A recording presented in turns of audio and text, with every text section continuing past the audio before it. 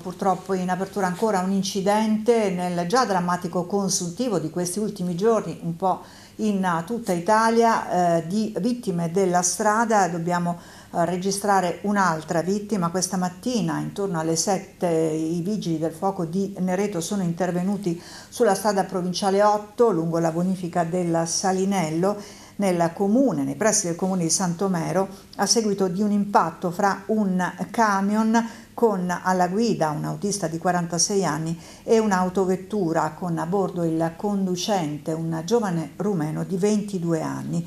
Secondo la ricostruzione dell'accaduto, la macchina nei pressi di una curva si è scontrata frontalmente con il camion, forse per l'asfalto reso viscido dalla pioggia. Il 22enne di origini rumene che risiedeva a Controguerra è deceduto mentre è rimasto illeso il camionista. Sul posto sono intervenuti anche i sanitari del 118 e la polizia stradale di Pineto per i necessari rilievi.